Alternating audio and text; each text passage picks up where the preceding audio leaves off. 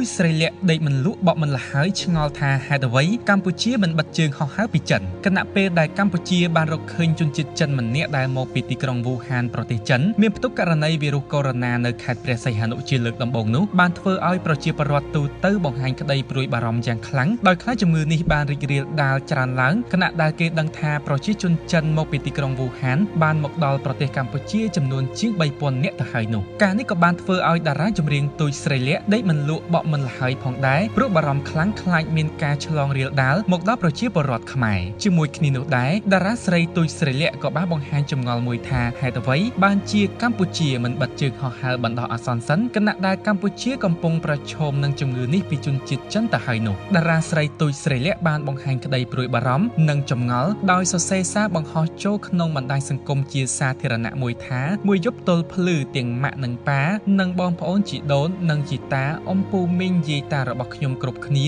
សឹងតែគ្មាននរណាបានដេកព្រោះហួសចិត្តពេកគ្រប់បណ្ដាប្រទេសគេទប់ស្កាត់មិនឲ្យជើងហោះហើររបស់ប្រទេសចិនចូលប្រទេសគេទេព្រោះគេបារម្ភខ្លាចជំងឺរីករាលដាលឆ្លងដល់ប្រជាជនគេព្រោះវាជាជំងឺឆ្លងដ៏សាហាវណាស់មានដឹងទេហេតុអ្វីបានជាប្រទេសកម្ពុជាខ្ញុំងាយស្រួលដល់ថ្នាក់ទាំងដឹងថាមានអ្នកផ្ទុកជំងឺវីរុសកូវីដ -19 មួយអ្នកទៅហើយចុះហេតុម៉េចឡើយនៅតែមិនបិទជើងហោះហើររបស់ប្រទេសចិនសិនទៅលោកអើយអាណិតប្រជាជនខ្មែរយើងទាំងអស់គ្នាផងមិនមែនជារឿងលេងសើចទេលោកអាយុជីវិតមនុស្សអ្វីដែលតារាស្រីទូចស្រីលាក់បានលើកឡើងនេះមានបំណងតែមួយគត់គឺចង់ការពារនិងបញ្ជាបងប្អូនខ្មែរកុំឲ្យទទួលរងនឹងការឆ្លងជំងឺផ្លូវដង្ហើមថ្មីដែលបង្កពីវីរុសកូវីដ -19 ដែលមានលើជនជាតិចិនមួយចំនួនធំនោះហើយនេះក៏ចាត់ទុកថាជាការអំពាវនាវមួយដល់រាជរដ្ឋាភិបាលនិងក្រសួងពាក់ព័ន្ធសូមជួយពិចារណាក្នុងរឿងនេះដើម្បីចូលរួមទប់ស្កាត់ការរីករាលដាលទាំងអស់គ្នា